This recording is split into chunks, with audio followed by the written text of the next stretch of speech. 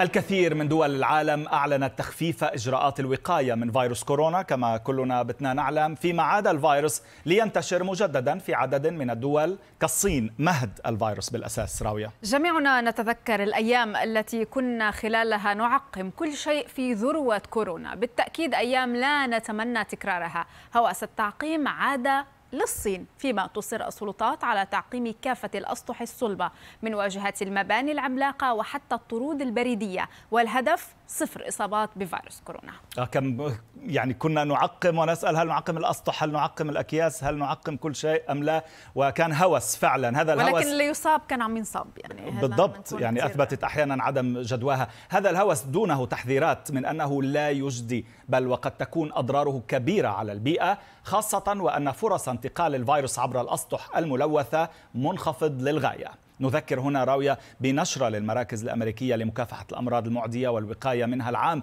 الماضي إلى ما كانت تشير؟ أشارت إلى أن كل اتصال مع سطح ملوث بفيروس كورونا لديه فرصة أقل من واحد من عشرة من عشرة ألاف لنقل العدوى إلى البشر. ولهذا لم يكن التعقيم الجماعي جزءا من إجراءات مكافحة الأمراض في الدول الغربية التي اتبعت سلطات الصحة العامة فيها العلم. الخبراء أعادوا التوصية بغسل اليدين بالصابون واستخدام أو استخدام المعقم إذا لم يتوفر الصابون والماء لمحاولة تقليل الإصابات إلى الصفر وربما التخلص من الفيروس مستقبلاً.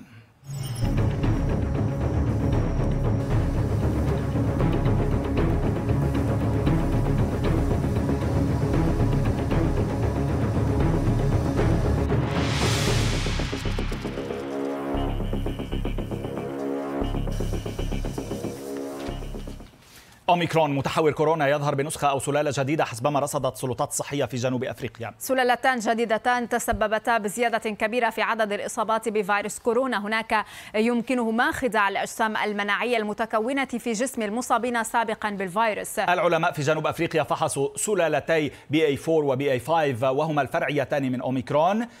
وهاتان النسختان الفرعيتان أضافتهما منظمة الصحة العالمية الشهر الماضي لقائمتها للمراقبة المراقبة. واتضح من العينات المأخوذة من المصابين أن قرابة نصفهم تلقوا تطعيمات سابقا بلقاحي فايزر وجونسون جونسون. لكن الدراسة أظهرت أن المجموعة التي تلقت اللقاحات راوية كانت لديها قدرة على تحييد الفيروس بأكثر من خمسة أمثال من غيرهم. أما في العينات التي سحبت ممن لم يتلقوا اللقاحات فقد ظهر انخفاض بنحو ثمانية أمثال لإنتاج الأجسام المضادة عند التعرض للسلالتين الفرعيتين مقارنة بالسلالة الأصلية لأوميكرون ب A1